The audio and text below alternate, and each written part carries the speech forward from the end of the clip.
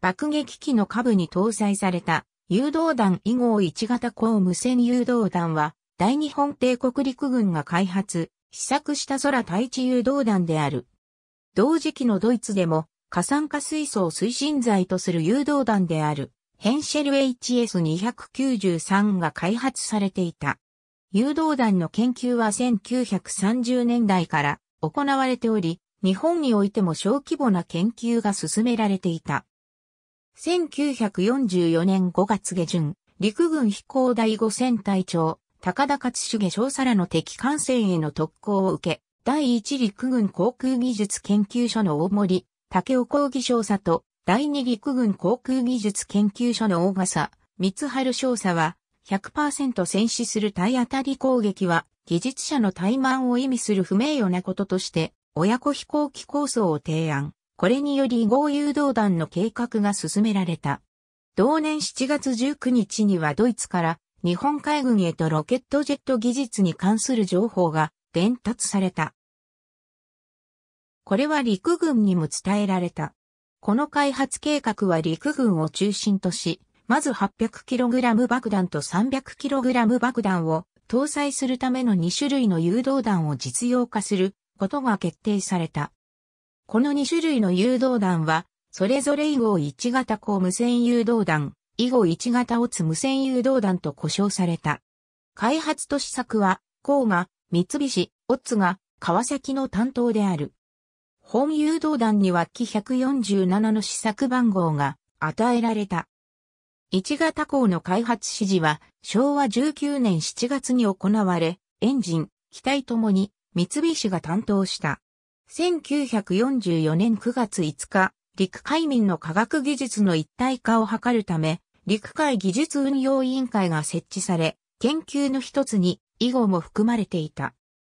試作1号機は昭和19年10月に完成し、11月には10機が完成した。投下試験が行われたが、ジャイロ安定装置の不調、操作用の無線機器の調整に困難があり、実用に至らなかった。使い捨てのために、機体構造はかなりの簡易化が図られている。高翼形式に木製の直線翼を備えており、胴体は円形金属製の骨組みにトタン板を張って製造された。胴体の前寄りに主翼を配し、胴体後尾に装備翼式に垂直尾翼と噴射ノズルを備えるのは、以後1型オツと同様であるが、相違点として主翼の髪型に一つの円筒を備えており、主翼にはわずかに上、帰り角が付けられている。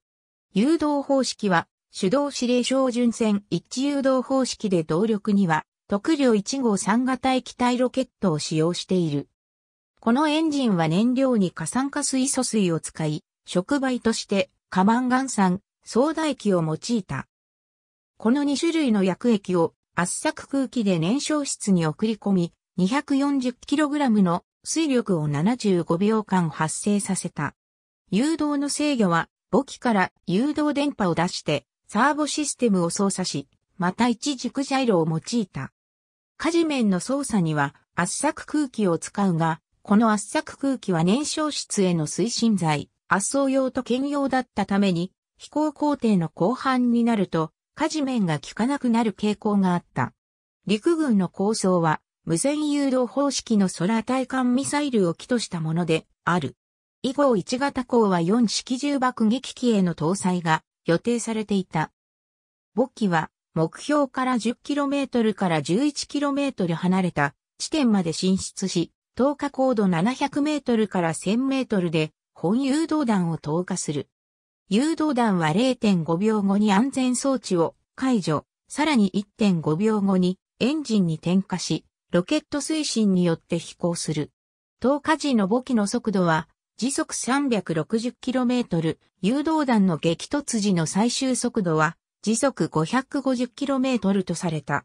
母機は無線誘導のため目標から 4000m の距離まで接近した。以後1型鋼は海軍の 800kg 爆弾を搭載した。この投下方式では、母機は長時間の誘導と目標への接近を余儀なくされるため艦隊を護衛する戦闘機に狙われる可能性が高くなるが、人間が操縦し無線誘導弾より射程に優れる桜花を搭載した一式、陸上攻撃機は重量により回避行動が難しいため、直縁機に守られながらも切り離し前に撃墜されるなどして十分な戦果を上げられなかったことを考え合わせても、十分な制空権を持たない状況で艦艇に接近し続けることは相当な被害率を出すことが予想された。データは客中による。使用単位については、ウィキペディア、ウィキプロジェクト航空、物理単位を参照。ありがとうございます。